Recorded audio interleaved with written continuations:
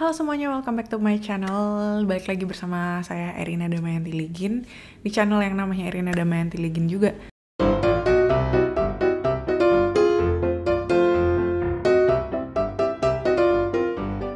Jadi dalam video kali ini gue mau membahas berapa penghasilan dari channel gue yang memiliki um, kurang lebih 1600 subscriber. Kenapa gue pengen bikin video ini sekarang? Karena menurut gue ini adalah waktu yang tepat karena berhubung jumlah subscriber gue juga sekitar seribuan.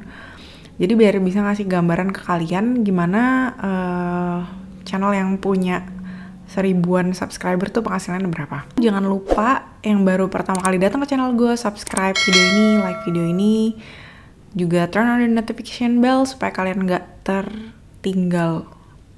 Meskipun ya emang gue akuin gue bukanlah youtuber yang paling aktif di dunia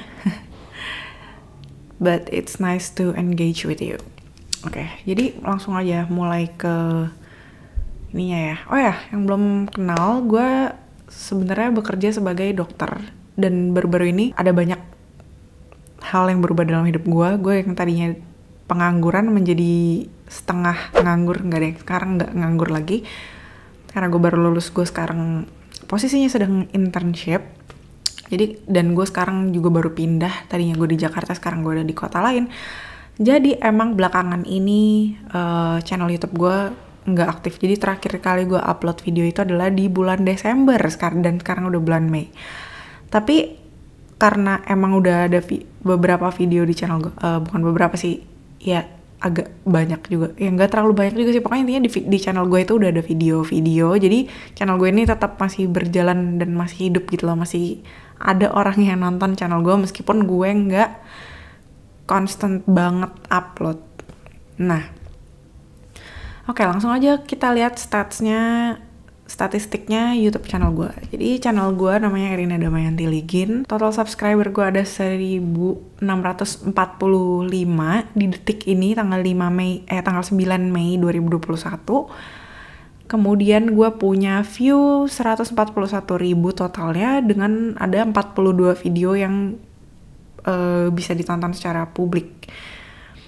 Nah, untuk stats the last 30 days-nya ada 6000 sekitar 6000 view.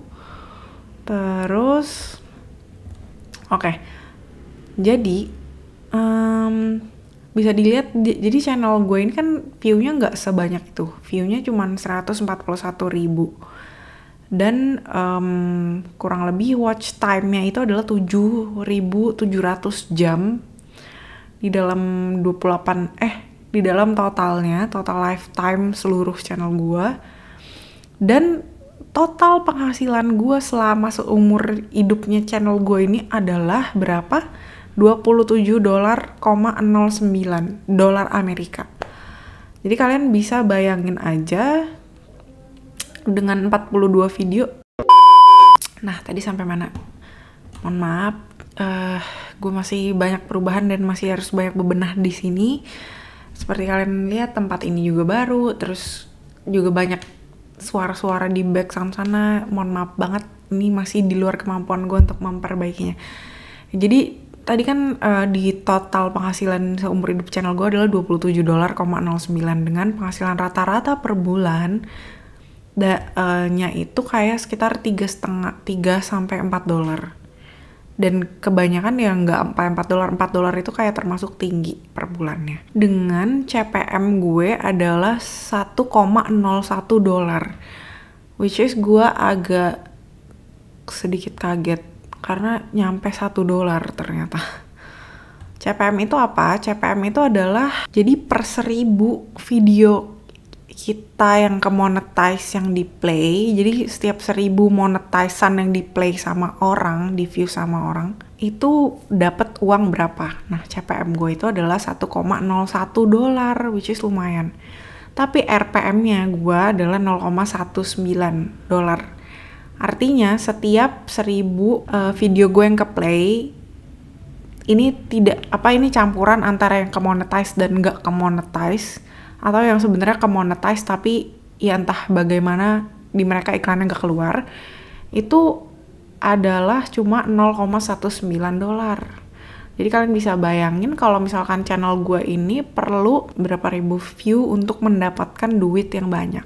Jadi kalau misalkan kalian berpikir untuk menjadikan uh, YouTube itu sebagai pekerjaan kalian, kalian harus bisa naikin CPM-nya ini, CPM dan RPM-nya ini. Gitu.